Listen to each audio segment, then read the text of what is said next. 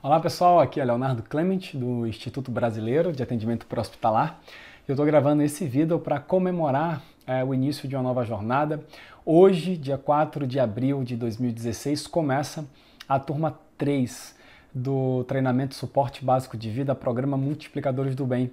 E hoje nós estamos aí com mais de 100 profissionais iniciando uma nova jornada é, para se tornarem instrutores de suporte básico de vida. Então, nós temos profissionais de saúde, profissionais de APH, estudantes dessas áreas e pessoas comprometidas em multiplicar o bem, informações de utilidade pública para a sociedade, estão se capacitando para isso. E hoje nós estamos começando essa turma 3. E eu quero aproveitar esse vídeo para falar um pouco sobre sonhos, sobre objetivos, sobre metas que muitas vezes nós temos e que por algum motivo a gente não coloca em prática. Às vezes nós somos desestimulados pelas pessoas com quem nós convivemos, às vezes as pessoas que nós mais amamos e que mais nos amam nos desestimulam não por maldade, mas simplesmente por não acreditarem às vezes em nosso potencial ou ah, na, na na possibilidade, no potencial da ideia em se concretizar. E uh, quando eu pensei nesse projeto Multiplicadores do Bem, em formar instrutores, inicialmente através de um curso online que leva para um curso presencial, e enfim, todo um processo de formação, e que eu pudesse fazer isso numa escala nacional, uh, eu fiz uma reuniãozinha com algumas pessoas de confiança, algumas pessoas que eu conhecia para lançar o projeto. E eu ouvi de muitas pessoas que aquele projeto era um projeto meio que utópico, muito grande, que eu iria ver, que muito provavelmente essa coisa não iria vingar. Uh, e algumas vezes eu pensei em desistir, eu pensei em não levar adiante, mas diante da missão que une esse projeto, que é a primeira missão de zerar as mortes por parada cardiorrespiratória não assistidas fora do hospital, ou seja, uh, o objetivo é fazer com que, essa, se tiver alguma parada fora do hospital e quando tiver, que tenha alguém do lado pelo menos capaz de fazer alguma coisa para ajudar. Não significa dizer que essa pessoa vai necessariamente salvar a vida da outra, porque muitos casos de PCR realmente não conseguem ser revertidos.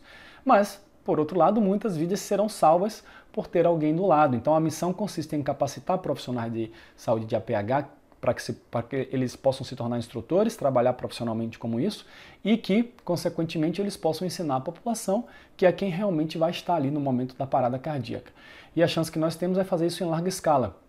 E muitas pessoas que é, não acreditaram no projeto no início acabaram meio que me influenciando negativamente e em algumas vezes eu duvidar se realmente eu deveria levar isso adiante ou não.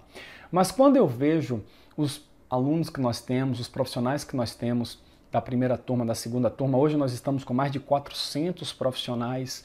Uh, entre a turma 1 e a turma 2 nós tivemos 320 profissionais que fizeram treinamento online. Na turma 3 nós temos mais de 100 pessoas de novo, então estamos indo para mais de 400 pessoas. E quando eu vejo o, feed, o feedback, quando eu vejo é, o agradecimento, a transformação dessas pessoas, isso funciona como gatilho motivacional extrínseco. Então, ao mesmo tempo, na vida nós temos coisas que nos motivam e nós temos coisas que nos desmotivam. E aí depende de você qual é o filtro que você vai colocar e onde é que você vai colocar seu foco. Se é nas coisas que lhe desmotivam, se é nas coisas que lhe motivam. E eu escolho na minha vida colocar nas coisas que me motivam. E isso faz com que eu invista cada vez mais nesse projeto, do meu tempo e literalmente em todos os sentidos investir mesmo para que esse projeto vá adiante, para que ele dê certo, para que ele seja cada vez mais é, é bem realizado, bem executado, para que a transformação seja palpável. E a maneira que nós criamos nesse projeto é, é de formar o instrutor, mas também criar a oportunidade para que esse instrutor possa atuar no mercado. Eu não queria simplesmente passar os conhecimentos de como é que ensina suporte básico de vida, como é que atende uma situação e não dar a oportunidade. Então, para isso, nós criamos as, os núcleos e as âncoras dos MDBs, do IBRAP no Brasil. E, na verdade, esses, essas núcleos, essas âncoras são empre empresas parceiras do IBRAP. E é, todas essas empresas são obrigatoriamente empresas de alunos que fizeram o nosso treinamento. Então eu não estou fazendo parceria com empresas de pessoas que me procuram de fora. Tem muita gente procurando, Léo, eu gostaria de ser um representante do IBRAP. Eu falo, não, não pode, porque eu estou dando essa oportunidade para quem já é aluno.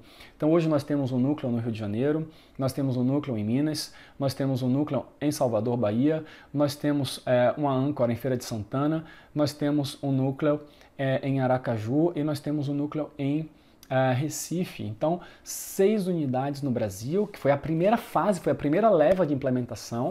Uh, a cada ano nós vamos colocar mais cinco, mais dez, até que a nossa meta é que em, em, em três anos nós já estejamos em todos os estados brasileiros, multiplicando bem. E esse projeto de multiplicação do bem nos cursos presenciais, que são os cursos nos quais os nossos instrutores atuam ensinando, sejam para profissionais de saúde, sejam para é, população leiga, como um condomínio, uma academia, uma faculdade, uma escola, enfim. Uh, esses cursos todos são sem fins lucrativos. Então, olha que legal, é uma parceria do IBRAP com a empresa local. O valor arrecadado por esses cursos, que geralmente são treinamentos com baixo custo, é, é, não passa pelos cofres do IBRAP de forma alguma, é pela empresa local, é uma administração local e 100% do valor arrecadado nesses treinamentos serve para remunerar os instrutores então, cada instrutor tem uma remuneração interessante para um dia de treinamento e, além disso, ter uma taxa administrativa para a empresa local que organizou o curso, porque, obviamente, ela precisa mobilizar recursos. E nós criamos uma parceria com essas empresas que é, é uma parceria de desenvolvimento mesmo é, de empresa e de pessoas e que isso seja uma coisa a médio e longo prazo, esse é o nosso objetivo. E com isso nós acreditamos estarmos formando os instrutores e também dando a oportunidade para que esses instrutores possam atuar amanhã no mercado. Esse é um projeto que está nascendo, tem dois anos. Hoje nós estamos em seis estados brasileiros, nós temos 400, mais de 400 alunos é, que fizeram ou estão fazendo nosso treinamento online. Nós já temos cerca de 100 alunos que concluíram a formação de instru instrutores, entre 50 e 100 alunos nesse momento, mais alguns que estão na fila aguardando os cursos presenciais para concluir a formação como instrutor. E a ideia é que a gente continue multiplicando bem e levando isso para a população e levando a oportunidade de transformação para esses profissionais. Então esse é um vídeo basicamente para comemorar o início dessa turma 3, dizer para quem é da turma 3 que tenha muita garra, que o processo não é simples, o processo é trabalhoso, mas quem ama o que faz supera qualquer obstáculo e nós estamos juntos. E o objetivo também desse vídeo foi lhe inspirar a acreditar nos seus sonhos e nunca se desestimular quando uma ideia parece grande demais para você, porque simplesmente parece. Então filtre e pegue os gatilhos motivacionais extrínsecos, se apoie naquilo que faz a sua ideia valer a pena e coloque em prática.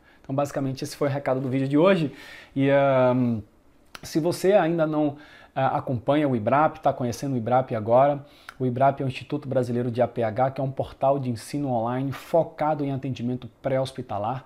E nós estamos aí com o desafio de publicar um vídeo por dia durante um ano nas redes sociais, ou seja, um vídeo no YouTube, e esse vídeo também muitas vezes é compartilhado no Facebook. Então, caso você esteja assistindo esse vídeo no Facebook, deixa a sua curtida aqui na fanpage, você vai lá na página e você clica em curtir, porque assim você vai ser notificado toda vez que a gente publicar um novo vídeo e aí você vai poder assistir esses vídeos. Além disso, você também pode, caso você esteja assistindo esse vídeo no YouTube, é, assinar o canal do YouTube. Aqui na tela, no YouTube, tem um íconezinho aqui na parte de baixo, provavelmente. Você vai lá e clica em assinar, porque todos os dias, quando a gente publica o vídeo no YouTube, você também recebe um aviso que esse vídeo está no YouTube. Então nós publicamos todos os dias no YouTube e alguns deles vão também para a fanpage. Então deixa aqui seu comentário, compartilha, diz lá se você gostou do vídeo, se não gostou, lá clica no seu like, enfim. E uh, nós estamos juntos uh, nessa jornada. Espero que seja uma jornada transformadora uh, para todos nós e, enfim, contem com o IBRAP para a gente levar conteúdos aí de qualidade para você. Ok? Um grande abraço e a gente se vê no próximo vídeo. Tchau, tchau!